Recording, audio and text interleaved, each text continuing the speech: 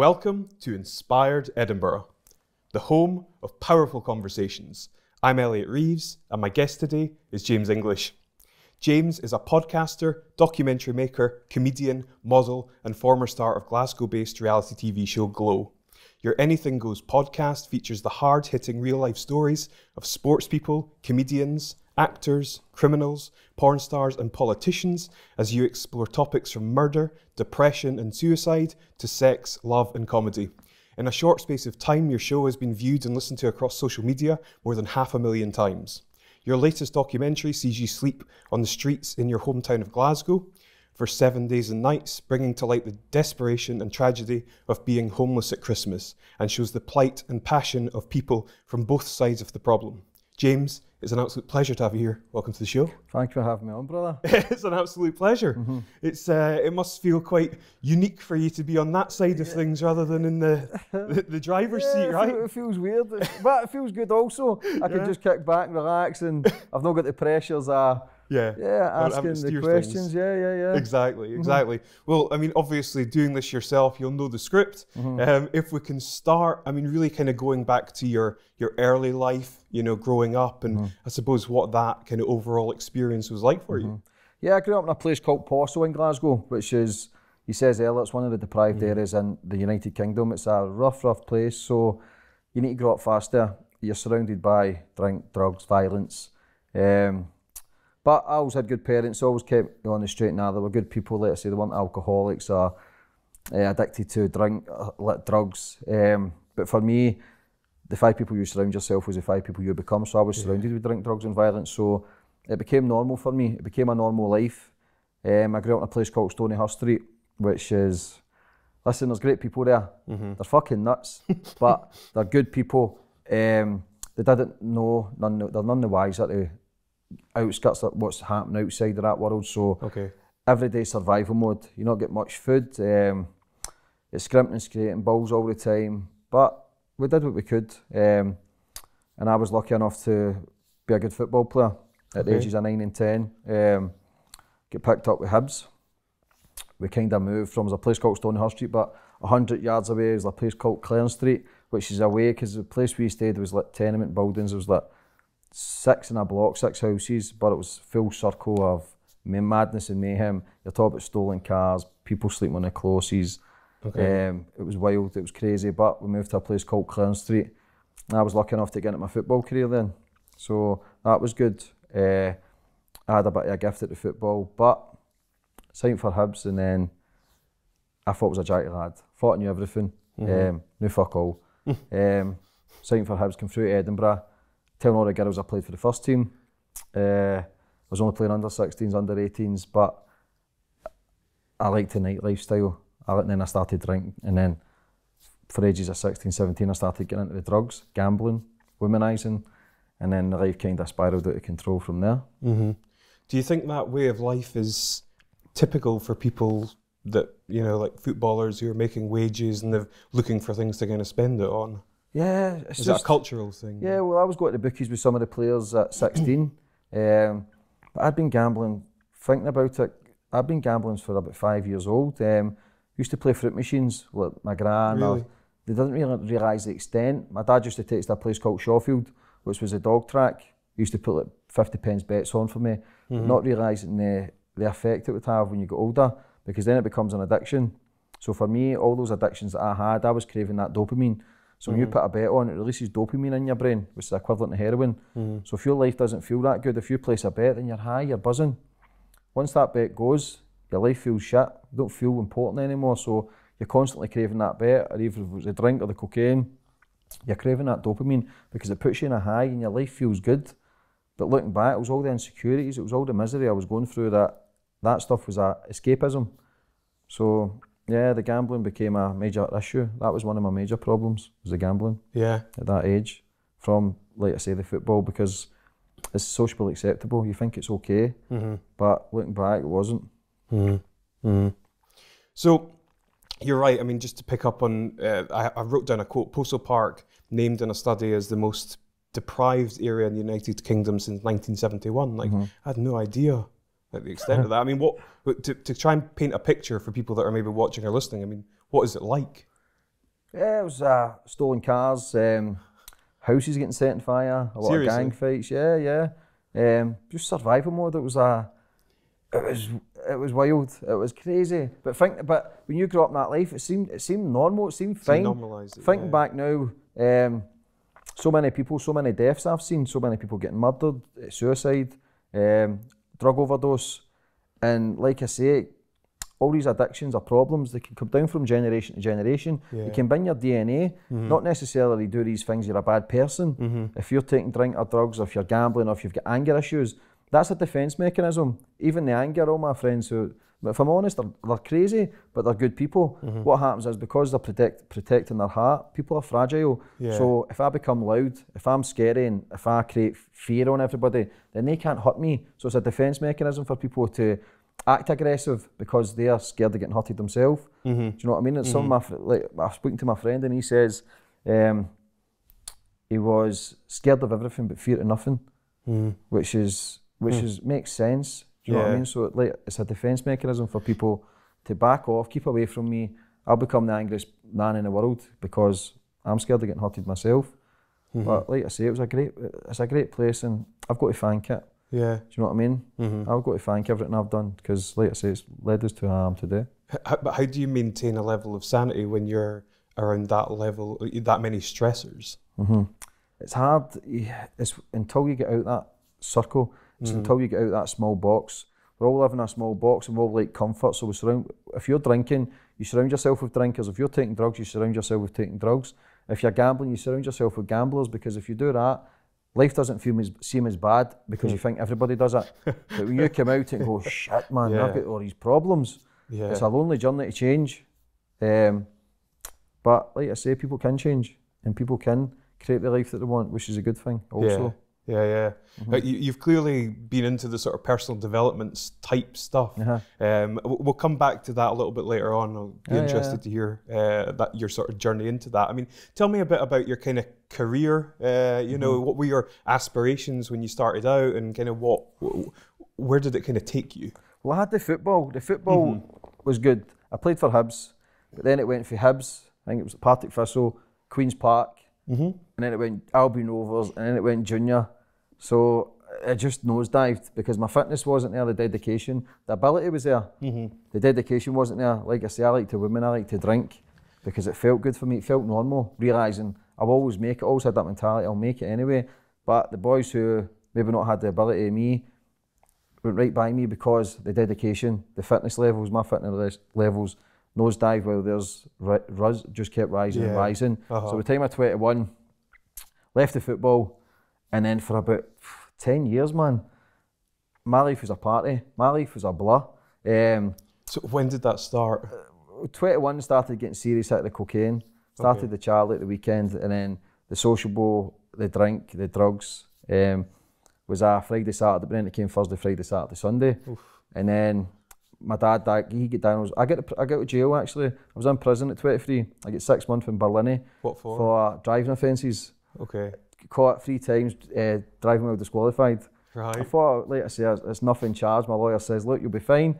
I'll see you at lunchtime. I was on the bus out of Barlinnie at 23. Um, shiting myself, scared. Like I say, playing the big man card and as if I never had a care in the world, but you're terrified because you're thinking, shit, man, I'm going to get pumped in here because I was a good looking, I was a good looking guy. I was a good looking guy. Do you know what I mean? I had the gift of the gab, and I'm thinking, Yeah. I've watched all these films for years, but Yeah. as soon as I went in there, I real it's probably the worst thing that could happen because as soon as I was in there, everybody from Possil was there. Okay, So I knew the majority of the people in there. I was a party boy around Glasgow, so I knew the majority of people. So that felt at home. It felt so weird. It just felt like a big boot camp. We had football every day. We had the gym. But while I was in the gym, uh, while I was in the jail, my dad got diagnosed with leukemia. Um, So I came out, my head was up my ass. My best pal hung himself, and then I had two girls pregnant at the same time. So this was at 23. I didn't know how to deal with those pains and struggles. So for me, it was a drink and drugs was escapism for me because when people seen me at the weekend, I was a life and soul at the party.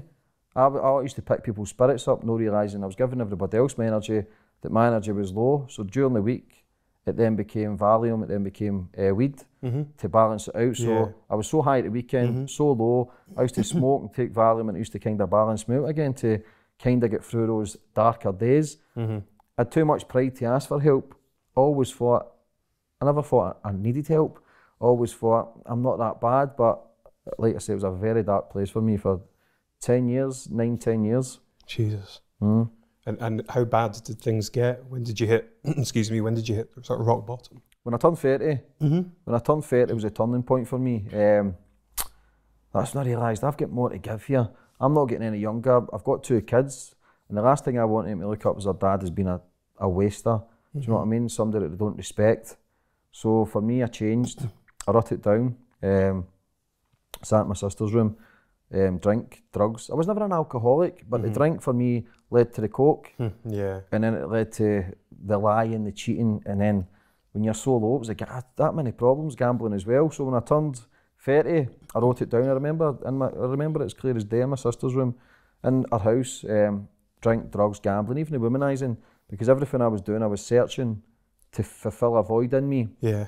to, to fulfill an, a loneliness and an emptiness that I've had for so long. Um, and then once you accept that this isn't the thing to do, because every time I was doing that, I was becoming more disconnected. Mm-hmm. So I wrote it all down and three, four months. I became clean, went cold turkey on everything. Let us say, it was never heroin or um, crack or it was cocaine, but let us say, Valium and weed. My central nervous system was fucked. And because I've been telling that many lies for years through the gambling addiction, um, stealing, lying, doing bad things to create the money to get that fix, I didn't know who I was. I was so lost. Um, so I changed and wrote it all down. After three, four months, I started getting clarity. I had a lot of bad dreams, a lot of nightmares, my conscience, all the, the stuff I'd done in the past, um, treating people like shit and lying.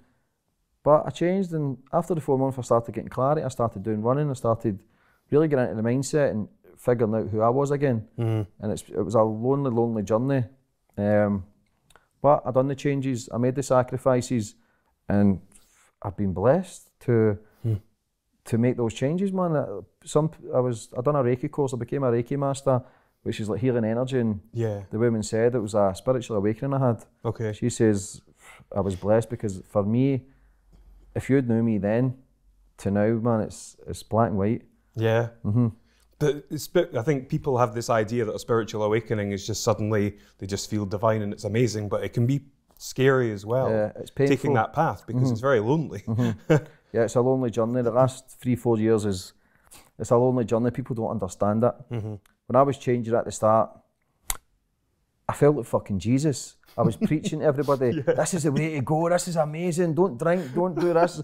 People were like, ah, shut up, yes, crackpot. I felt like, I felt amazing. And I just wanted the people to feel the same as well. But what I was doing with preaching was pushing everybody away. I was pushing everybody away and they were going, he's becoming a pain in the ass. But I just wanted the people to feel the way I was feeling because I felt amazing. It made me realise all that shit I was doing was wrong. And we don't need to accept it because all my friends, they accept that life, that it's okay to do that at the weekend, but you're hiding from something. Mm-hmm. You're hiding from something to any, if it's not natural, you're taking away from whatever it is you're going through. For me, I faced it head on. So now for me, it's to keep my light shining bright. If I keep my light shining bright, then it guides everybody else out of darkness because people now ask me questions. How did you change? Mm-hmm. Why did you change? Mm-hmm. And when I have changed, like I say, actions speak louder than words. My results speak for themselves because at the time I felt as if I had to show everybody that I changed. Now I just act, I do, and then people go, he has changed. And then that's when I get the messages, how did you change? And then I can guide them where to go for help instead of the preaching kind Yeah, of side of it. But I just felt as if I had to tell everybody I've changed, I became a better person. Listen, I ain't a monk or a saint. I still fuck up and I still probably do things I go, I shouldn't do that. But I'm aware. I feel as if Yeah. I'm two steps ahead of everybody else. I feel as if I'm on this path and I'm untouchable and nobody can tell me otherwise. Where does that confidence come from? Being clean and sober, Yeah. being clean and sober, um, educating myself. Knowledge is power, so I, I don't read books, I listen to audio books. My attention span isn't the greatest. If I read a page, I go, what the fuck did I read there? but I can still work on that where I will, I should be getting used to it, but I prefer the audio book and I get the earphones in and I listen. I seem to pick up more.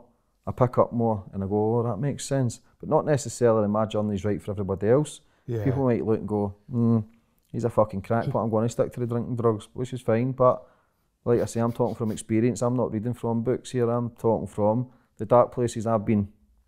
So what would you say to somebody who was in, you know, was doing the things that you were doing five, ten years ago. Mm-hmm. I just asked them to be honest with yourself. Is this going to enhance your career? Is this going to take you to places where you know you can go to? Mm-hmm. Just ask yourself: Is that should I be surrounding myself with these people? Like I say, you're not a bad person because you do bad shit. It's just certain circumstances condition you into that person to have that life, and mm-hmm. it can happen to anybody. You can. I know people that's multi-millionaires out there that are suicidal, and yet I know people with nothing that are the best people in the world. Hmm.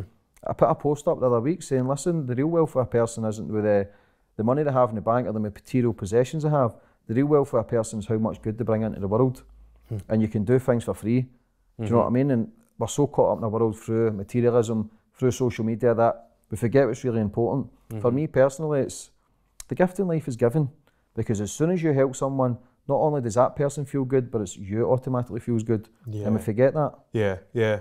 But I, I think you know, talking about that, social media has been such a whilst it's a double-edged sword, it can be a toxic place. But there's it's such a great way of sharing information um, that I, I feel as though there is kind of a, a paradigm shift or a kind of awakening to the realization, that, like you're saying, Yeah, life's far more uh, than just you know accumulating possessions and money. You know? Yeah, there's all, I I believe there is a shift coming in that social media. I'm aware of now, I'm addicted to it. I'm addicted to it because I'm craving the attention. And when I get messages, like I said, it releases dopamine, which is equivalent to heroin. So it's like pulling a fruit machine for you. I've got a message here, somebody likes my content. I'm mm. feeling good. And that's okay, but when I'm spending four and five hours looking at a screen, mm-hmm. it becomes a problem. And mm-hmm. I'm aware of this problem because when I wake up in the morning, your first hour is your most creative hour in the morning to balance out your day and focus on what your path is and what you've got to get done. But if you're looking at a fake screen and fake people with fake lives, because that's what it is, Yeah, your life doesn't feel as good and you start looking at everybody else's life and then where your focus goes, your energy flows. Yeah. So now you start, your mind goes wandering instead of actually focusing on your day. So it becomes then a problem. For me, it's a problem just now. I'm utilising it to my, my advantage, if I'm honest, as well, to promote everything I'm doing. But mm-hmm. I'm spending so many lost hours on it when I could really utilising that to take my career even further. yeah, So it's a it's it's a slippery slope with it. right. So how do you plan to sort of manage that? Um, like I say, I'm aware. The plan is to get up. My for me, my blueprint is to get up early, half four. Seriously? Yeah, half four. I seen Mark Wahlberg there two days ago. Half two, he is. That's great. Fucking nutcase. But if it works for him, who are we to judge? Do you know what I mean? Yeah. My blueprint is half four. Get up at half four. Get my meditation. Get my breathing techniques. But I'm lazy. I'm lazy. Even though people might think I'm doing all this stuff, I'm still lazy. I, I know I'm not utilising my hours to my full advantage because it's scary to think we're all going to die, and it's scary to think that what are we doing to be good in the world and to create massive change and massive awareness? Am I really, am I just waiting to die? Am I, or am I creating enough stuff to leave a legacy? Do you know what I mean? I just feel as if I'm not utilising those 16, 17 hours to, to be the person I know I can become. What are your feelings on death? We're all going to die. I used to be scared of it. Yeah. Now, fuck it. Yeah. I'm, I'm, re- I'm, I'm not ready to go, but if I do, mm-hmm. I do. Mm-hmm. You've got to remember, you don't know what it's like before you're born. So it's just going to be the exact same when you do go. As soon as you're born, you start to die, which is the scariest thing, and that should be mm-hmm. the only motivation you need in life is to realise you're going to die. So what are you doing to, to be the person you want to become? Do you know what I mean? And I think we're caught up in a, fake world, man, where people are stuck in 95s, people are stuck paying the bills, and before you know it, they've, they've created the fear where they're scared to make ch- take chances, they're scared to take risks, they can't leave their job because they've got these bills to pay. I can't work in this, but people prefer Monday, Friday, 9 to 5, X Factor on a Saturday night, bottle of wine and a curry. Listen, if you're happy, listen, I'm not here to judge, but mm-hmm. the majority I speak to ain't happy because deep inside your gut, you know you've got more to give life. You know you've got more to, to be that person you become. We've all got a path. And whether that's path is whatever the fuck it is that you do, but does it fulfill you? Does it make you feel good? Does it make you feel when you put your foot in the floor in the morning, okay, I'm ready to take on a day, but majority of people aren't happy. Mm-hmm. Do you know what I mean? And you can't be happy 24 7, but you can create the life that you want. You can be the director of that film. You can just be you and make do what's right for you. But people are stuck in relationships they don't like, jobs they don't like. Fucking change it. It's as simple as that. It's as simple as that. Change it because the only person can fail is you, and that's that's what I believe. But it's easy for me to say that because I'm on a good path. But I just know that I changed. I made the changes and the sacrifices, and it can be done. Yeah. I'm loving this chat. Yes. Great stuff. uh, how did uh, Glow come about? Like, how did what, what happened for that to come together? Well, I, I got a phone call to say it was happening. I, I, I became, I got a personal training job, which is one of my first ever proper jobs at the age of 30, 31. um, that's when I was doing all my reading, my research, and, and I was off of drinking the drugs for 17 months. I went to LA. I come back from my auntie's funeral. Uh, I was 17 months off it. I decided to have a drink after the 17 months. Okay. And then I just ripped the whole ceiling down. I ended up back partying, uh, gambling after the 17 months because I thought I was strong enough to handle a, have a drink, but it turns out I wasn't. Um, so, so the plan was to go and do motivational speaking. And uh, it turned out I didn't do that. I gave everything up again and kind of went down that slippery slope for a year. But for me, that year was the speed bump that I needed. It didn't last 10, 15 years. It lasted a year because I realised how good I felt. I realised I felt amazing when I was clean. Mm-hmm.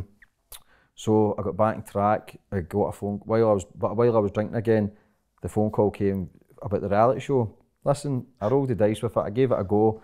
It was a bit cringy. If I wasn't on the show, would have been probably slagging at myself, probably. Um, but you've got to take your hat off to anybody that takes chances. Yeah, of Um, course. and it was a good platform for me. Um, I was a fan's favourite, just saying. uh, so it gave me a platform and it built Yeah. up a fan base for me. Glasgow's a tough city, very tough. So many critics, but I believe that so many people are unhappy with themselves, so it's easy to point the fingers. It's a reflection image. It's people are just deflecting on their missed opportunities or the things that they want to do, but they ain't got the balls. Yeah. So for anybody to do anything new or do something, it takes courage and guts. Like I say, I gave it two seasons, uh, and it worked wonders for me. It built up my platform. It got people to know me, because I was well liked on it. Uh, it should have probably done better than what it was, but I believe there's a massive market in Glasgow or Edinburgh for a reality show. If all these other places can do it, then why can't we? But uh, it kind of I left the second season, and that was it basically. But listen, I met a couple of great friends from it, and I would never change it. It was a great experience. It learned me in front of the cameras. It learned me my confidence. But I was still going through that dark phase because that's this, the year I was drinking. So I was in that part of lifestyle. It was Yeah. low frequency, and uh, I thought that was all cool, and that was me craving attention. That was me self-seeking. Yeah. I needed that attention, and I still need it. I'm still a poser, and I'm still uh, love that attention. I, I do you know what I mean? But uh, it was a great experience, and I wouldn't change it, man. I met some great people, but I look back and it's kind, you kind of fucking cringe as well. Do you know what I mean? But it opened doors for me. Yeah, absolutely. Well, you know, if you didn't do that, you possibly wouldn't be doing what you're Yeah, currently exactly, doing, etc. exactly. I, I think you're right. I think there probably is scope for a, a good reality show, but it would be nice to see one that's not predicated on kind of bullshit values. Yeah, Mm-hmm. Going out, getting pissed, having fights, it, womanizing, the, you know, etc. The, the the typical stuff that you yeah. see. But that's what people want to see because that's what the majority of people do. So if they see other people doing it and it doesn't seem as, seem as bad, can you imagine sitting there and trying to splurt out positivity and motivation? you don't see that on the TV. You mm-hmm. see it in the mainstream media. It's deaths, it's murders, it's rapes, it's suicide, it's wars. Mm-hmm. Because if they can drill that fear into your mindset, you think the world's a bad place. The world's actually a good place if mm-hmm. you want to go and look for it. And if you think it's a bad place, then become the change that you want to become. Do you know what I mean? If you want to see good in the world, be good yourself, and it will have that ripple effect. Do you know what I mean? You can pay it forward, um, do good, and it will like attracts like. So if I'm doing good, then everything I do is for me. Do you know what I mean? I've said that to you before on the phone. Everything I do is for me, but I'm doing good to help others as well. So it's a win-win for me. Yeah. It's a win-win. I can't lose. It's true. Mm-hmm. Do you see yourself going into motivational speaking? I will do in the future. Yeah. Still got a lot to learn. Still got a lot to learn. This is part of my journey.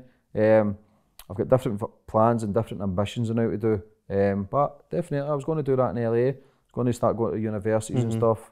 Probably need to polish up my accent. Still get a wee bit nervous. Speak a wee bit fast. Swear a lot. That's lack, lack of vocabulary. I think. I just don't think so? Yeah, yeah. I was never a good listener at school. I was always a daydreamer, looking out the window, just daydreaming. Yeah. Yeah, yeah, yeah. so that's the thing at school. You use the left side part of your brain, which is the your crunching numbers, your memorisation. your right side, your creativity Yeah. and your individuality, which I think we forgot about that now because nobody wants to be an individual. We're scared to be ourselves, dress ourselves, talk ourselves because we think, what do they think? What does she think? But fuck what anybody thinks, man. Yeah. Do you know what I mean? Nobody's going to agree what you do. For me, is if I was to tell people my visions and ideas, they've already spoke me out my ideas or visions because they're reflecting their fears onto me because they don't understand the journey. Mm-hmm. So it's about doing what's right for you and creating what you want. Do you know what I mean? Everything in my every, everything in real life we've attracted, whether it's me sitting here, you sitting here, we've, we've thought it up. Mm-hmm. Everything that's created in this universe has started off with a thought. Whether it's cameras, aeroplanes, cars, this this couch. Do you know what I mean? It's, Yeah. Somebody's thought about that. Uh-huh. And if somebody says a hundred years ago, whatever an aeroplane came out, that I'm going to make an aeroplane, people would have laughed and thought they were crazy, but they done it. Mm-hmm. Do you know what I mean? They've done it these steps to get these to get their their end goal, their end product. I think Edison was three thousand times or ten thousand times to hmm. to make the light bulb. Yeah. Do you know what I mean? Can you imagine Yeah. he stopped after two, three times what the average person does? Yeah. You're, you're set up for failure. Yeah. Do you know what I mean? Yeah. It's- you don't need to see the full staircase, but if you can take the first step to, to hit your goal, you're in the right direction.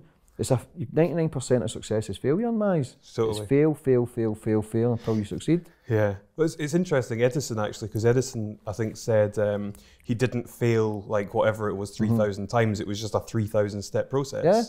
Just Such a great way of looking at it, you know? Because it says 3,000 times, but now we're saying it's 10,000. Do Yeah, you know what I mean? Yeah. So it's trial and error. yeah. Y- You can never fail. The only person that can fail is you. Uh-huh. Because what happens is we concentrate on the finishing line too much. And then when we get there, we've created another one. We're not enjoying the journey, which the power of now will come into play, which is trying to stay in the present moment. For people, we stay in the past too much, which is fear, guilt, depression, anger, anxiety. Yeah. Because I read it, there's a guy called Joe Dispenza, um, who's about the brain, the mindset. Um, 95% of your day is controlled by your subconscious. So we'll get up during this, we'll get up, brush our teeth the same, probably have breakfast, drive to work, same routine, brush our teeth.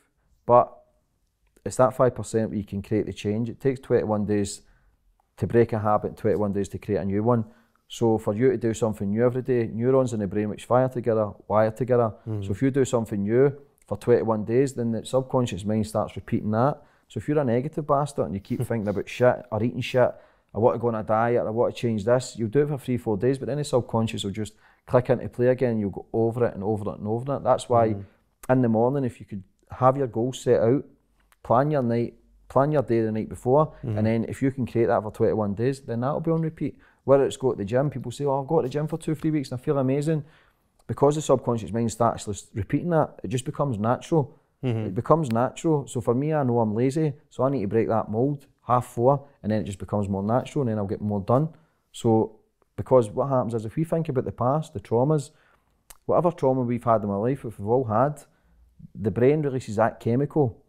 So if I was to think about what the traumas I had in my life, the brain releases the chemical to the emotion I felt that day.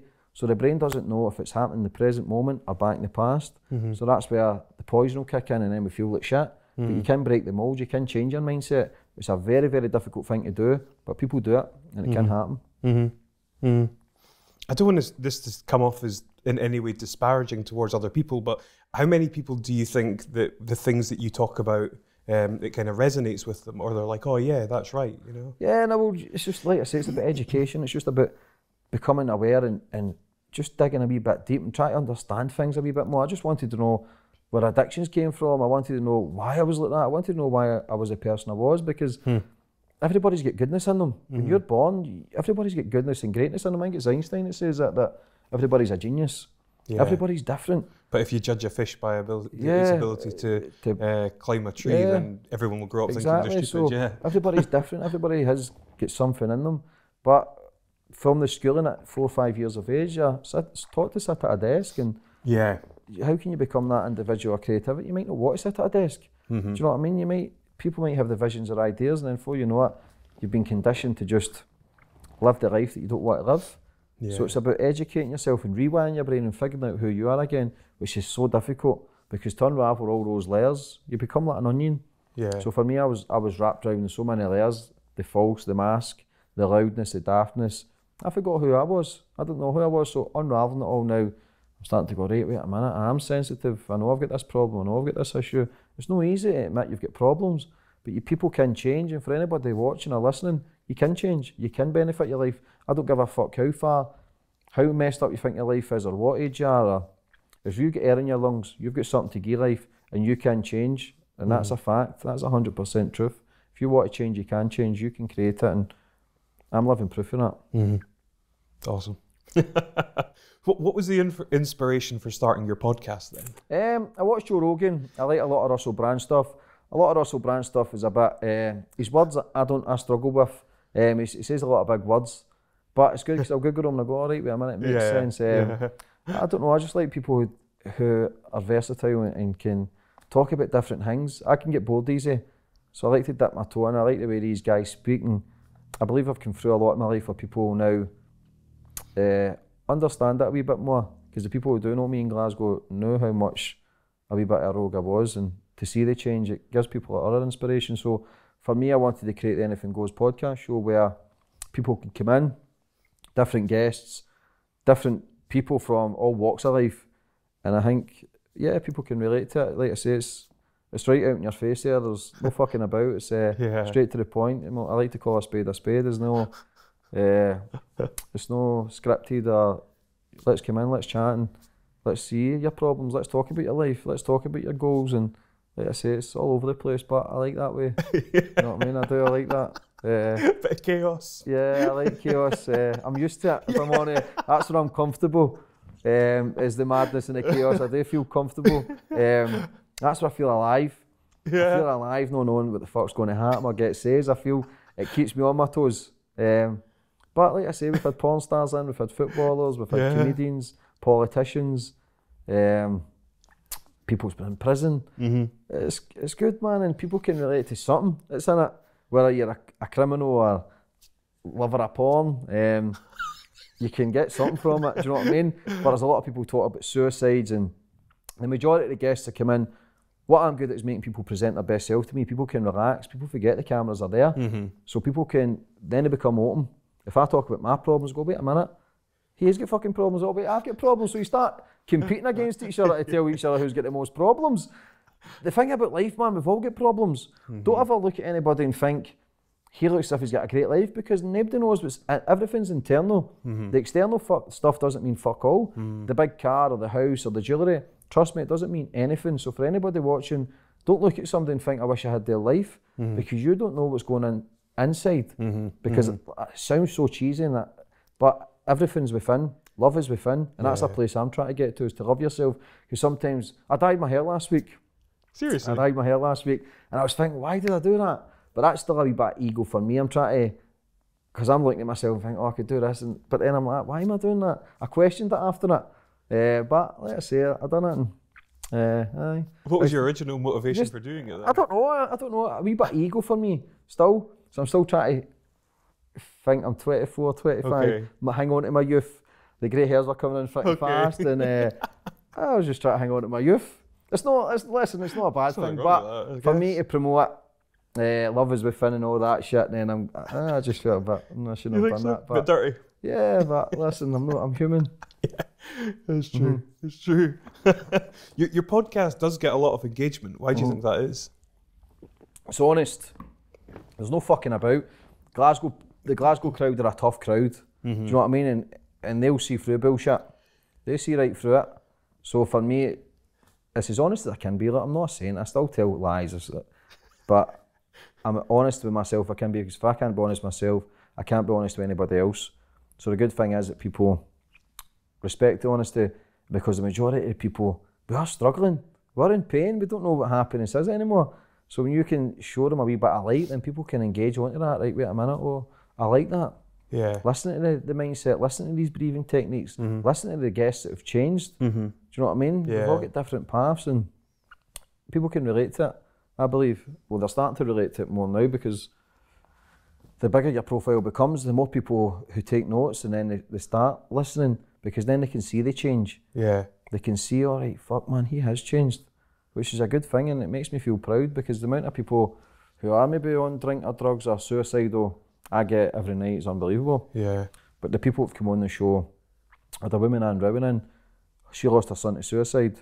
Um, after, so what happens is trauma's happening in your life.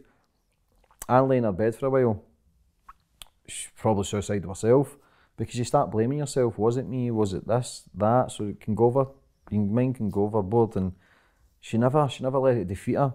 So what Anne did was set up a 24-hour uh, suicide centre. Now she saved thousands of lives where people can phone, phone up and speak, not just for people who are suicidal, but for people who've lost someone to suicide. Mm-hmm. These people places do like a thing called havening, which is amazing. Reiki, just someone to speak to, mm-hmm. and she used that to her advantage. Her son's death, and now, like I say, you can either make it destroy you or you can make it kick on in life and do something more important. And she's prime example that she never let a trauma affect her. Now she's doing massive things. A place called Chris's House, man. Um, people phone up. Like I said, some of these doctors close at five o'clock. Suicide's always going to be there if you've got those thoughts. Yeah. They're 24 7. Amazing people. Um, met them loads of times. I've got an event actually this week for it, which I'm looking forward to. But yeah, it's good because people watch that and they, they realise that they're not alone. Yeah. Because we're all, our mind goes overboard. We're all, we're all fucked. Basically, we're all, we're all fucked. Yeah. It's trying to find the balance, what makes you feel good, and it's okay not to be okay. Yeah. Do you know what I mean? It's Yeah. okay to have problems. It's okay to look at somebody and wish that, but you've got to understand how's it making you feel. Uh-huh. Do you know what I mean? It's okay to ask for help because 75% of suicide are male. Because for the area I'm from is a tough area. So, listen, everywhere's a tough area probably, but if you're from those scheme areas, it's if you're fighting or you're crying, it's toughen up, man up. Uh, real men don't cry. So before you know it, your time you hit 30 or 40, you don't know how to handle feelings and emotions. So you just want to end it. And it's scary to think being suicidal, I've, I've probably had the thoughts, but I've never had the balls to actually follow through with it. But for people to sit there and think nobody cares, or um, it must be scary because the only thing with suicide, you're not really, if you take your life, you're not really uh, taking your problems away. What you're doing is just passing it on to somebody else, whether it's a loved one or something like that. And it's scary to think that people are alone. They're not alone. There's plenty of places out there offering help. So when Anne lost her son, it was over a thousand people at his funeral. Just doesn't feel as if it was good enough. Or it's easy to think you're taking your pain away because you're not worthy. But like I say, man, everybody is, and people can change their mindset. So yeah, it's good. So these mm. are the people that are coming on the show and they're making a massive difference. So it's good, man. I'm, I'm loving it. Really loving it. That's brilliant. Yeah. really is. I mean, it's mm-hmm. well documented that suicide's obviously the, Yeah, the yeah. biggest killer of young mm-hmm. men in the UK. Like, mm-hmm. it is a, it's, it's, it's awful. It really is. I think sometimes people, um, I'll be careful what I say here. Um, I'll say it. I think people kind of underestimate how traumatic the experience of life is, mm-hmm. which might sound a bit kind of mm-hmm. esoteric to some people, but you know, you ultimately come into this world, you've got people around you that love you, and then you have the realization that it's all just going to, you mm-hmm. know, one day not be here. You're going to be you're going to be dead, and everyone around you is. Like, That's a pretty serious situation to Yeah, find yourself in. yeah, that. But then again, that's the mindset. The mindset can play tricks on us. Everything's the brain. It's to find that balance. For me, it's all natural stuff. I became vegetarian. Um, these breathing techniques, the exercising, it, it feels good for me. It gets the endorphins, which is a natural buzz. I'll go to the gym. Listen, go to the gym, but I'm only feeling good for a couple of hours, and then I, will drop again, and I'll go. All right, what can I do now? Because I get bored, and then I get overthinking, and Yeah. the anxiety can kick in. So it's about keeping busy all the time and try to do and try to find balance in your life. Mm-hmm. I'm not saying to everybody to stop drinking, but for me, drink's a drug. It's a mm-hmm. sociably accepted drug in the world because everybody does it. Hmm. It's okay to do it, but it lowers your frequency. Mm-hmm. It makes you feel. People drink why, and I believe because it loosens them up and it makes them forget. It takes Yeah. them away from their pain. It takes them away from their 95. It takes them away from their misery. But then that's a hundred times worse the next day. And if you add up all the times, the months, the years that you drink, it's so much out of your life. So much, whether it's the Saturday and the Sunday and then the Monday, Tuesday, you're knackered.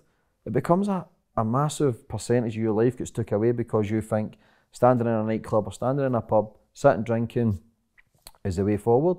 It's not mm. because you're not. How's that enhancing your life? How's that taking to where you need to be? And I'm not speaking for everybody here. There's people who can have a sociable drink, but for me, the people I speak to, it's every two or three nights people are drinking.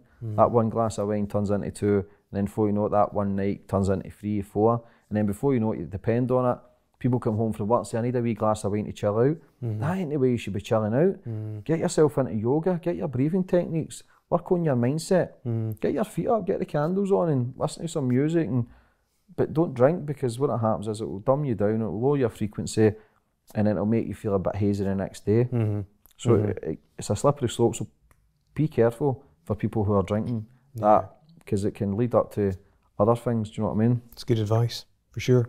Wh- What's the vision for the podcast? To be number one in the UK, Yeah. I'm going right for the top, mate. If your dreams don't scare you, they're not big enough. Like I say, I'm not as big a name as Russell Brands and stuff like that, but I believe in my content. I believe in me, and I believe it's out there where it's, yeah, why not be number one? If your dreams don't scare you, they're not big enough. Do you know what I mean? nah, fuck it. Yeah. Yeah. Like I say, I'm enjoying it, and for me, that's my ego to be number one. Do you know what I mean? I can, Uh-huh. I can sit there and say it's not, but that's a goal for me. And if I achieve that goal, there's always small steps for these goals, and if I achieve those goals, that's the, the buzz I'm getting. Mm-hmm. It's creating these small goals, and then when I, I hit them, I feel good, but then I need to go again. Everything's about progression. Tony Robbins will say it. You've got to keep raising the bar because as soon as you think you've made it, you've already took two steps back. So I need to hit this target. I need to go again and keep raising and keep raising. And if I keep doing that, then everything's limitless. Yeah. Do you know what I mean? The only, Yeah. the only person that can fail is myself. So I've just got to keep moving up that ladder, the pyramid, and just keep taking the steps up to be sitting at the top. But even when you're at the top, you're never really there because there's always somebody better or whatever. But success leaves clues. I look at all these other people are doing well and I go, right, wait a minute. What is it they're doing differently? You try and copy a wee bit, but you still got to put your own spin to it. Yeah. Do you know what I mean? Mhm. Yeah, so yeah, shoot for the top. Why not? Quite right. Homeless at Christmas. Yes. H- how did that first come together? Homeless at Christmas was um, I was spe- I was down in London for a business meeting, speaking to a homeless man. I've always gave homeless people my time of day and always did my wee bit and a wee sandwich here, but for me it's not enough. So I was speaking to a homeless man in London. He served his country for 18 years. His wife committed suicide. Uh, the kids blamed him because he was away working all the time. Guy had to drink. He was on the street for six years. So Jeez. I don't know, it just melted my heart. Um, both of us were crying at that time actually. I think it was like the 14th of December, and I phoned my friend Gordon. Uh, and I says, Look, man, I need to meet you. I've got an idea. And he says, Okay. And I met him at Costa. And I says, Look, I've got an idea. I'm going to go homeless for seven days, and I'm going to do it through Christmas from 19th of December to 26th. And he says, he says, yeah, man, he backed us. Gordon Campbell, great guy, yeah, um, backed me. And, uh, I, never had that much time to think about it. If I probably had more time, I'd have probably spoke myself out it. Mm-hmm. But the plan was to go homeless for seven days, uh, no phone, no money, uh, nothing basically, just the clothes I had in my bag, sleeping bag, and my rucksack, and my camera. Uh, told my family and friends I was going on a seven day fitness retreat. Um, but I wasn't allowed my phone, so I didn't want anybody worrying. I certainly didn't want a pat in the back, but what I knew I was doing was massive, and I knew it would have been, I'd have got a lot of uh, respect for it. Mm-hmm. It's like I say, everything I do is for me, but no matter what way you look at it, I'm still creating massive awareness. Yeah. It was also helping me become a better person Mm-hmm. because I can speak all this positive shit, but it is only words. Mm. It don't fucking mean anything. It is words. Actions speak louder than words, and for me to do the seven days at Christmas, the sleeping in the streets was fine. I like roughness. That doesn't bother me. It was the stories I was hearing. One of the girls got raped twice in a day. Um, people were setting them on fire, peeing on them, uh, stabbing them. It broke my heart. I'm not a psychologist, but the footage that we got, it's only been released over a week. And we've had over 3,000 messages with people coming, for, coming forward to help a hand and, and realise, because the documentary doesn't make you look at homeless people differently, it makes you question your own life. Because so many is living luxury and we love to moan and complain about the stupidest things. So for me, I'm proud of it. And I don't know why I did it, like I say, but it just needed to be done. I just think, there's, I put weight on. The seven days I was homeless, I put weight on. With all the food I was getting offered. I was getting, because I was at the soup kitchens every day. Christmas dinners. Um, there's so much generosity, like I say, there is a lot of goodness in the world, but a lot of people are blinded by uh, life, and everybody's got their own problems, and we can't just save the world. Do you know what I mean? Yeah. But just showing somebody that you care, two minutes of your time, just because there's a lot. Listen, there's a lot of beggars on the street who aren't homeless as well. Do you know what I mean? I'm not saying save everybody, and- but there's a lot of people who are con artists. There's a lot of professional beggars. But for me, I was staying with, the, I was sleeping in the streets with the people who were homeless, who have kind of gave up on life, and that's low self-esteem. That's low confidence. That's not just a case of rehoming someone, because you can't just rehome someone that's got addiction problems. I know people out there with two jobs that can't keep a house. Mm-hmm. So for you to rehome someone, they'd lose the house anyway. So it's to come up with a new system. I'm trying to come up with a new system, which is a 12 week programme. While within this 12 week programme, we've got um, drink programmes, drug programmes, mental health programmes, we've got psychologists in, I've got veterinarians in, I've got yoga teachers, I've got motivational speakers, I've got comedians. This system's a 12 week programme, it's so off the cuff, but something needs to change. Yeah. Something needs to change, and, and there's so much red tape around it, but I've got to roll the dice. We've got to try these things, and like I say, it's, I've got different visions from everybody else. And like I say, there's so much charities out there who give food and blankets and food, but for me, I need to change the mindset, mm-hmm. and I can't force change upon people. People want to, want to change, but when I speak to these people and you give them two minutes of your time, they want to change. I need to set up a, a place. I, this system I'm trying to set up, I believe it's not just going to work in Glasgow, but I believe worldwide. Jeez. Do you know what I mean? Because you're you're homeless doesn't mean you're dead. You've still got a personality. There's people in my full of laughs and jokes. Yeah. Do you know what I mean? Yeah, yeah. You just you just kind of lost your way, and it's easy done. And mm-hmm. this is the scary part of society now. It can happen to anybody. And mm. say you're only one or two paychecks away from being homeless. If you lose a loved one, or you lose your job, lose your kid, you can go home. You can end up sleeping on the street. It can happen to anybody. So this documentary awakens people, and that's why it's been so powerful because Yeah. People can relate. People can eh, go, wait a minute, we're all human beings. In my eyes, we're all connected. We're all as one. Mm-hmm. And if you're helping somebody else, I'm doing all this stuff, help try to help others. But like I say, I'm winning. I feel good. It's rewarding me, Yeah. and that's the, the no matter what way you look at it. I- I'm winning. It's, I feel good. Yeah. Do you know what I mean? It's, it's a selfish way, but it's selfish in a way. It, it is and it isn't.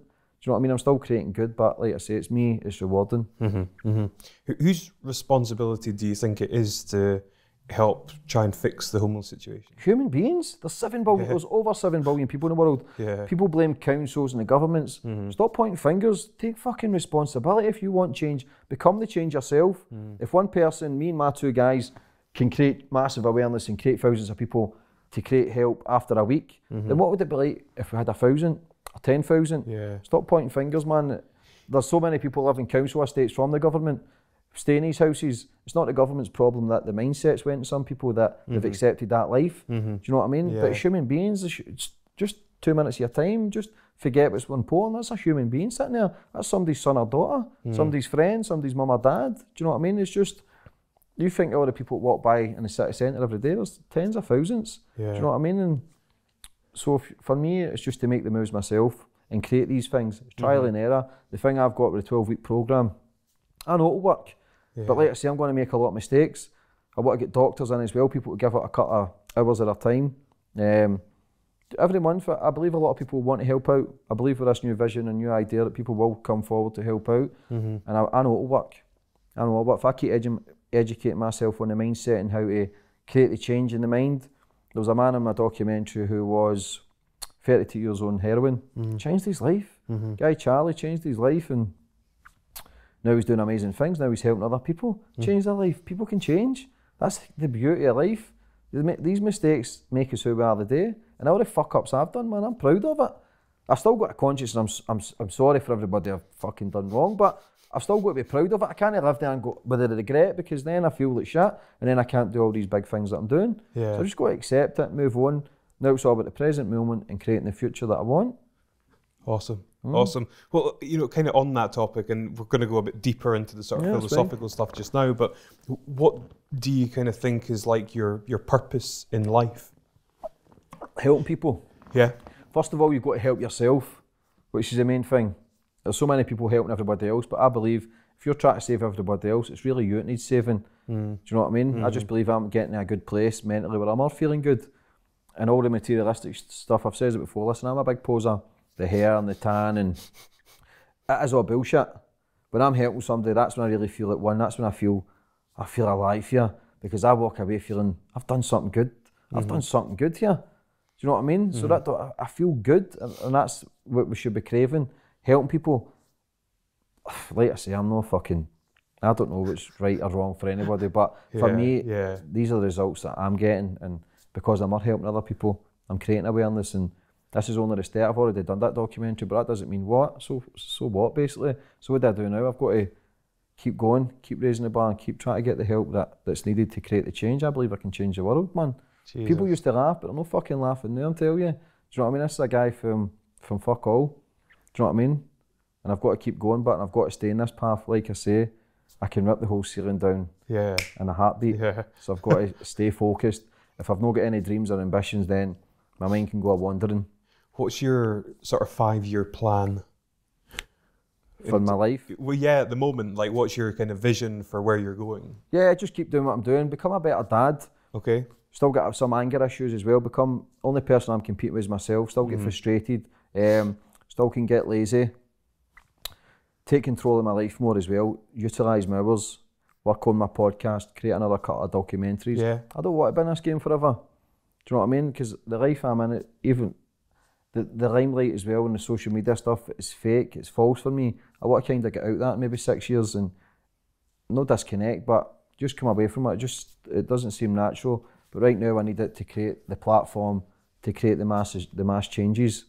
Do you know what I mean? But it's going to Yeah. be six years, I believe. I'll do all this and then I'll come away from it and just Really? yeah, What do you see yourself doing beyond that? help people, but not as as front, not as full on as yeah. the face. Yeah. maybe the back, the background work. Do you know what I mean? Okay. And uh, creating up this, like I say, this vision to create massive change. Like I say, change the world and change the mindset. There's things in place in Canada doing just now. The homelessness figures have, have dropped massively. Success leaves clues, so why are we not copying these people? Yeah. Um, unless, Yeah. so I just need to, like I say, keep working on me, becoming a better person every day. Because Mm-hmm. I've still got a lot of faults and flaws that I go, "Mm, I shouldn't fucking do that, man. I need to change that. Okay. Um, so it's just become a better version of myself. I don't know what's five years round the corner. yeah. I don't know what's going to happen tomorrow. I don't know what's going to happen tonight. Do you know what I mean? We could be lying in our boozers, full of coat and fucking lying in a big puddle of piss. I just don't know. Inspired Edinburgh just sent me down a slippery slope. Cheers, big man. Do you know what I mean? I just don't know. It's just to be a better version of myself. Yeah. Keep improving on me. I'd like to get in really good shape again. yeah. Eh, because listen, yeah, yeah, fitness doesn't define you as a person, but mm-hmm. mentally I feel good about myself. Mm-hmm. Do you know what I mean? And the money doesn't define you as a person, but mm-hmm. I feel good about me if I'm doing the right things. Because, like I say, I become lazy. I can sit in with my crisps and my chocolate at night, and I get com- that's my comfort zone. Mm-hmm. But it happens every night. Do you know what I mean? Mm-hmm. And then I feel like a fraud because if I'm promoting all this positivity, how can I do that if I'm? I need to lead by example. Yeah. Do you know what I mean? I need Yeah. to take the reins and become this this blueprint that I've got in my mind to I want to be. And it's it's no easy. It's no easy, but I'm doing it. I'm still doing it. But I just I'm aware of all these wee things that I go, ah, fuck's sake. Should I be sitting in my bed eating a big packet of McCoys when I should be out running or something? Do you know what I mean? do you know what I mean? So I, I kind of kick myself because I'm, I'm. This is just conditioning for so long, mate. Yeah. My dad used to take us, we used to go out at like 10, 11 o'clock at night, used to go to the petrol station, and it was like bars of chocolate, we used to get the paper, and I've still got that conditioning in me. Like I'll go to the shop at 10 o'clock and I'm eating a packet of crisps, but I know I'm doing it, and, and I'm like eating myself, as if I'm, I've just, I've, I've done something wrong, do you know what I mean? It's not the worst thing, but it's not taking me towards the person I want to become. Yeah, yeah. So it's, it's, it's slippery. Yeah. uh, what would you like your legacy to be, James? a good guy, a guy who's changed, um, a guy who's done massive things. I want people to be proud of me. Do you know what I mean? I want people to go, yeah, he's he did well, that man. He, he did well from what he came from and how he did. And I want to lead, like I say, I want to be at the forefront now and, and lead by example and show people that can change. I want to create massive changes. I'm not in it for baby steps. I'm in it to change the light of what the world, man. I'm in it to change and make moves and create massive, massive changes That's awesome. in people's mindsets. And mm-hmm. like I say, everything's baby steps, but these baby steps are becoming serious strides now, and people are starting to sit up and take notice of what I'm saying, saying and doing, Yeah. which is yeah. good, man. It's it's good. It's, I'm, like I say, I'm proud sometimes because I'm living this. It doesn't feel right. It doesn't feel. as- It, it just every day feels the same. Do you know what I mean? In this picture in your head, you think when I get this far and that far, that's it. That's what I'm, I've achieved. It, I've done it. But when Uh-huh. you get it, I still feel the fucking same, man. I'm still eating my McCoys and fucking sitting in the house thinking shit. It does nothing changes. Do you know what I mean? And that's the tricky thing in life because what happens is for a couple or whatever they'll say, right, I'm going to get married. I'll get a house. But when they get it, they're still fucking miserable. Do you know what I mean? Nothing changes because. Uh, listen, I'm not saying for anybody don't get married, but for me, when you do that, you, you've got these goals in your mind when you, I'm going to get the house, the baby, the marriage, but when you get that, you go, is this it? Mm-hmm. You've got a 25 year mortgage, you can't really, you've, you've got a guy there and a woman, you probably can't be fucking uh. sicky anymore, and you're, but you're, you're in it the long haul because you've signed up for it. Do you know what I mean? But is that, we've just conditioned to think that's the way forward, that's, Yeah. what, that's the final piece of the jigsaw. But it's not because when we become a couple or become, there's so many happy couples out there, but when you become a couple or whatever, this is a guy that's never had a serious relationship, but do you know what I mean? So it's hard for me to judge. But when you become a married couple, then you kind of stop working on you.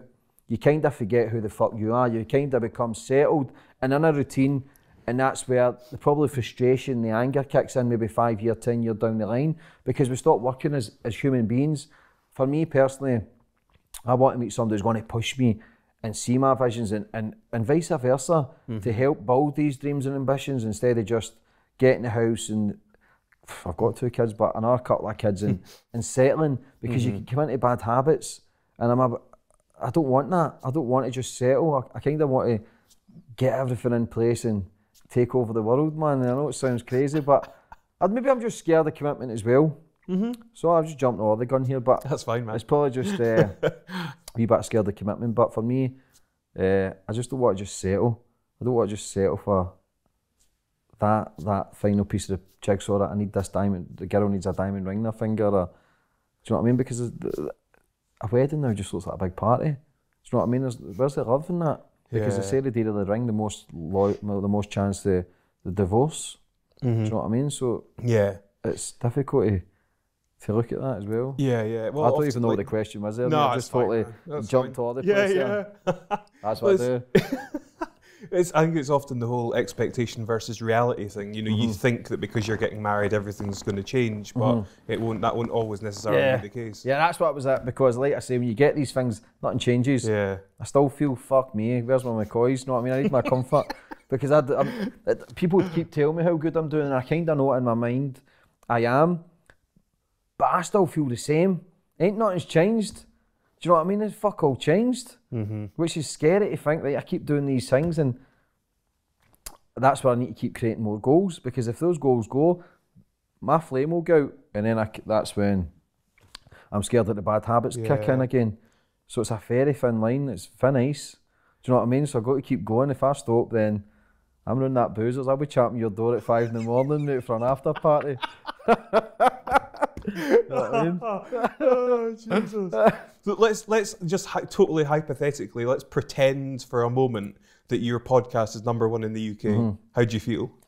The same. Yeah. That's what I'm saying. It's not really. It doesn't mean shit. What does it mean? Uh-huh. Do you know what I mean? It just for me, it's like setting a goal. Yeah, it's a, it's And a hitting that benchmark, I target, but guess. then- yeah, after that 24, 40 hours, that goes. And that's where I think a lot of the celebrities are fucked up, football players. Because when they've got craving all this attention, Mm-hmm. when that goes, the, the life doesn't, as if, am I not that, my, my life not worthy anymore? Mm. Because we're craving that attention, it's, it's self seeking. Mm-hmm. So if you're a singer in all these bands or whatever it is, if you're craving all that attention, if that attention starts to go, your career, you think your career starts to go, you don't feel as worthy that nobody cares anymore. Do Mm. you know what I mean? Because uh, it's, it's crazy. Like I say, all these benchmarks, when you get it, it goes. The, the buzz goes. The documentary was released last week. The buzz was there for two days because of the hype. Yeah. But then that goes. Mm-hmm. And then so, do you know what I mean? So that's when you need to keep creating the progression and what do I do next? Mm-hmm. So it's like I say, it's it's scary, man. It's fucking scary. Life's it's not supposed to be easy, but it, it can be. It's tough. yeah, Mm-hmm. it is. It is. How do you define success? inner for the inner being of me is creating good things that I know I'm proud of. Do you know what I mean? Because what is success? What is the mm-hmm. fame? What is the these benchmarks that you're setting? What does it mean? It, it, it is irrelevant because everything's within. But if I know I'm setting these small goals, if I know I'm making changes, if I'm changing people's lives, that's a success for me. That's me. Oh wait, I'm leaving them up. I just don't want to change one or two lives. I want Yeah. to change billions of lives. Do you know what I mean? I want to change a massive, a massive shift, and I believe the shift is coming. Do you know what I mean? Mm-hmm. The like attracts like, and the people I'm attracting into my life have, they've got vision, Yeah, and they're fucking just as crazy as me. Listen, we're all crazy, but th- these people, yeah, they're they understand that a wee bit. Mm-hmm. Even though I talk, people go, he's fucking nuts. Deep inside, they'll, they'll understand. They'll, they'll still feel it in their core that, wait a minute, you're actually talking sense here. Mm. Do you know what I mean? So for me, the success is within for helping people and creating change. Mm-hmm. I mean, even I've said it again, but when I'm doing all this, it's me rewards from it. It's me it feels good. Hmm. And like I say, I'm not. People say if you change one life, you've done good. I'm changing billions. I'm not changing. I don't know how it's going to be done. I just know if I keep doing what I'm doing, people are awakening. Mm-hmm. And that, there's listen, a lot of people are awakened out there. Mm-hmm. Do you know what I mean? Yeah. A lot of, there's a lot of people awakened, but it's hard to, for me, to- a guy from where I'm from, to, can you imagine speaking like this in a pub? Do you know what I mean? Yeah, I I get fucking shot or so you go, like, you're a fucking nutcase. People, my pals who I grew up with, when I started changing, they thought it was worse when I was changed than the guy I was who was crazy, Oh, who was okay. at parties with the Really? clothes Yeah, off yeah. and dancing. They thought they think I'm worse. No, no, now because they see what I'm doing. And listen, it's hard for people to see me change as well because even the people who I was close to, they become not envious, but they become. They always don't think that he's never going to change. They can't see why I can change because they can't change. So they always think that's a mask or he's kidding on or they wait for me to fall flat in my face again. Mm-hmm. Because if you what happens is if you start doing something in your life and you start doing good, then people start getting annoyed with themselves because they start questioning why can't I change? If he can do it, why can't I? And then the frustration comes in. So the friends who say you are friends become your enemies as well. Mm-hmm. Because even though I'm doing good, there's uh, people will support me, but there'll also be a lot of people there waiting for that, for me to hit that hurdle. Yeah. So which is which is one of the bad things about it. Try to do good yeah. because people, people's everybody's got different opinions of everybody. My mum's got a different opinion of me. Maybe the ex girlfriend who I've cheated on, he's a bastard him. But everybody's got different opinions. But Mm. for it's hard for people to change their views on you when you're trying to change. Do you know what I mean? So Mhm. I can't focus on anybody else, I need to do what's right for me Absolutely. and and move and move forward with that. Do you know what I mean? Totally. Totally. What, what's the best piece of advice you've ever received? Oof. That's a good question. That. You're going to incorporate that into the podcast, are you? Uh-huh, I might, aye. aye, thank you. I knew there'd be something positive coming at this today. I knew you were good for something earlier. Eh, what is the best advice I've ever been given? Um, that's a good question. I really thought about that actually. I've really been give good advice before. yeah, clearly. Uh, no. yeah. All my advice, I've everything I've really educated myself with is probably through other through podcasts or through audio books. mm-hmm. The thing that changed my life was the Power of Now. The book, The Power Eckhart, of Now. yeah. He was the one that it was an ex girlfriend that gave me that book. So I was going through the change. It, it sat in my company for two years, and then I just I, I got the earphones in. And that's the thing. Just before I turned thirty, is the, Okay. the transformation was the Amazing Power of book. Now. yeah. Um, I listened to it a couple of times, but he's a boring, he's a boring It's- bastard, man. I was like, he's like, he's like, wee ding, and then he's, he's, he talks to it. I'm like, so chapter one, it took us about a year and a half to, to listen to it. I kept falling asleep. Oh, Um, but that was the thing. That was the, the thing that the stuff and that made sense mm-hmm. was about the present moment, which Mhm. is so difficult to live in the present moment, especially surrounded by everything. Unless you're a monk, you're never going to have that sense of bliss.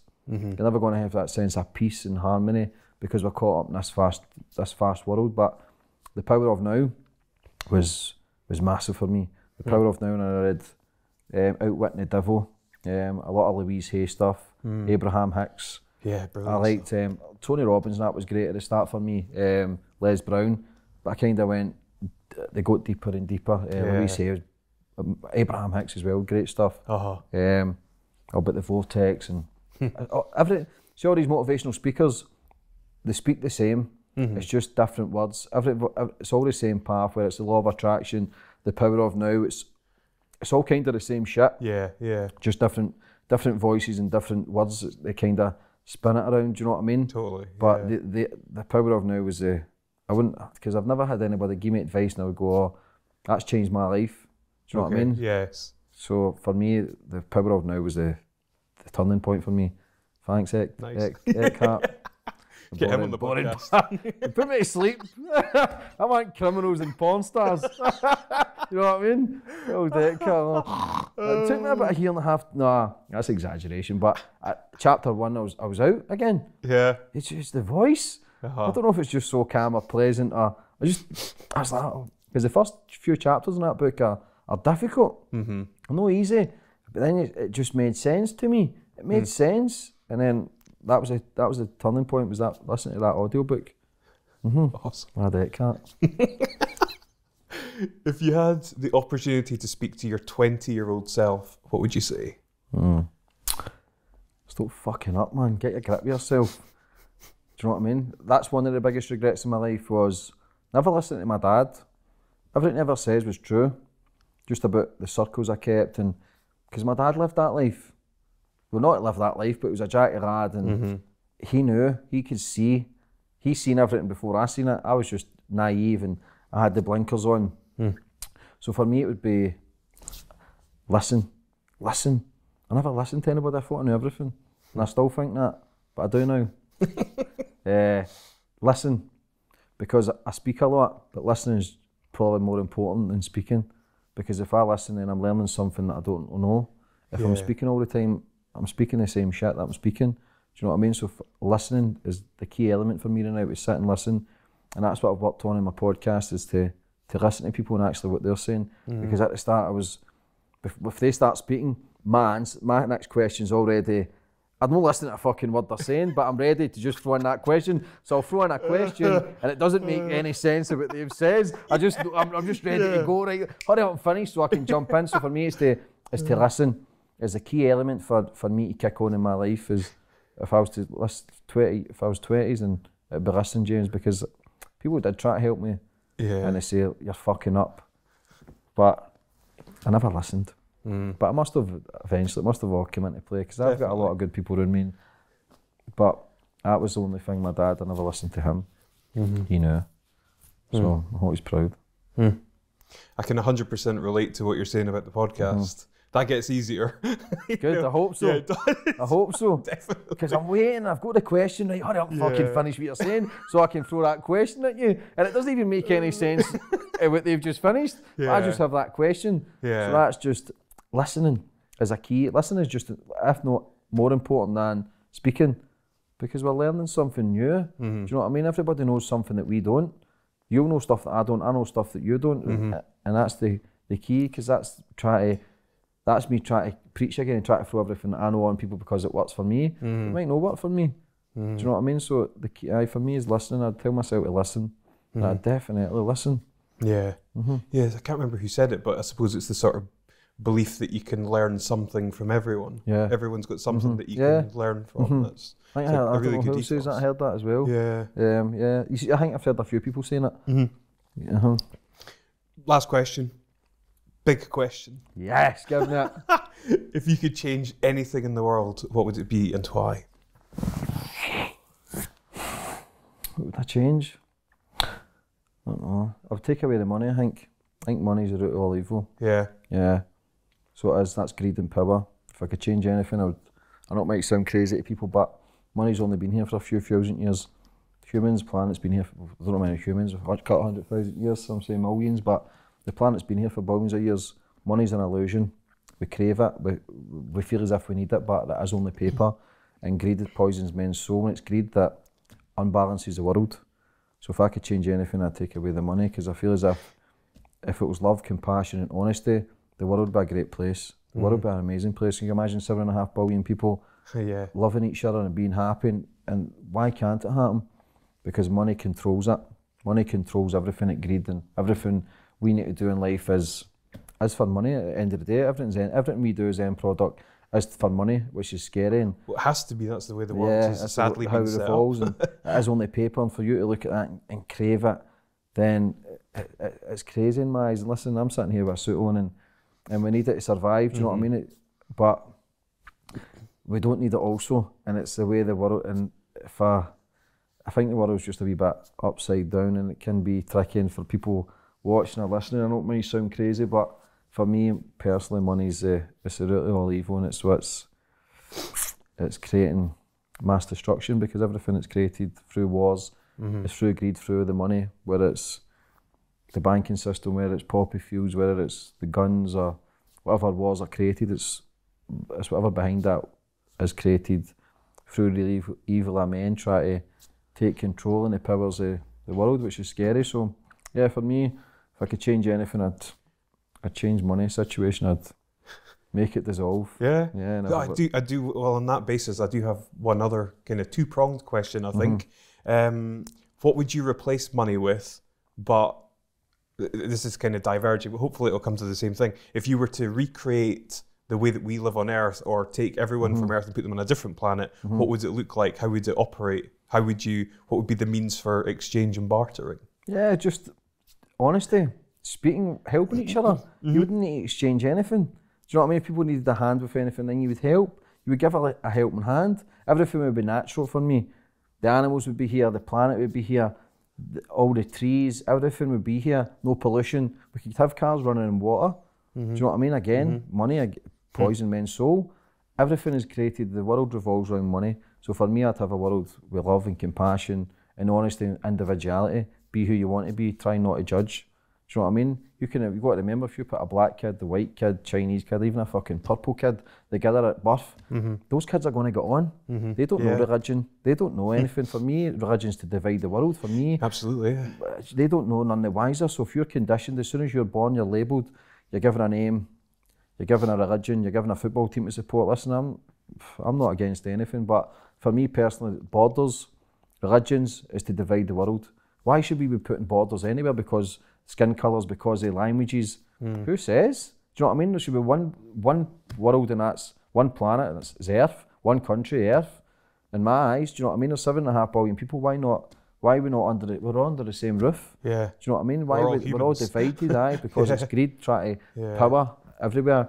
I think United Kingdom, I think they've, I think they've basically ransacked nearly every country except about 22, 23, but yet we're going about immigrants. Do you mm-hmm. know what I mean? Mm-hmm. Everybody's human, same as the Native Americans in America, and I'm, I'm totally going off track here, but the, I think there's like millions and millions of these people were murdered.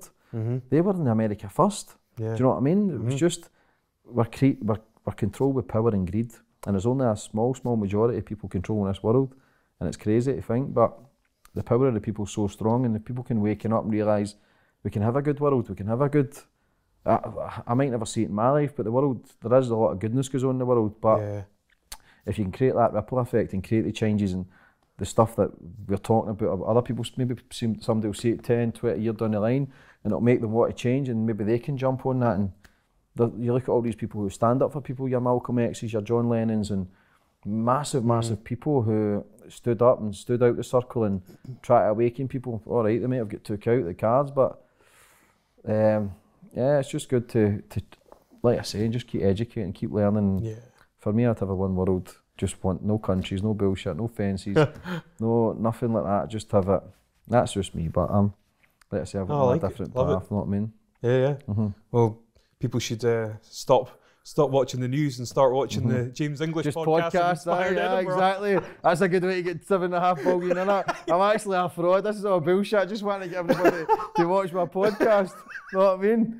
And give me sponsor money. So I'm a fucking fraud. Do you know what I mean? We can preach all this shit, but we're still in that. We're still in the circle in the bubble ourselves. Yeah, yeah. We need to survive. Do you know what I mean? I know. It's, it's crazy. But like I say, I don't want to contradict myself either. Yeah. But it's hard. It is. Do you know what I Yeah, mean? Totally. Yeah, I know. Yeah, I'd love that. I'd be, everybody be happy. And, do you know what I mean? Because I, speak, I see a lot of people. If you say hello to somebody on the train or whatever, walking the street, I think you're a fucking madman.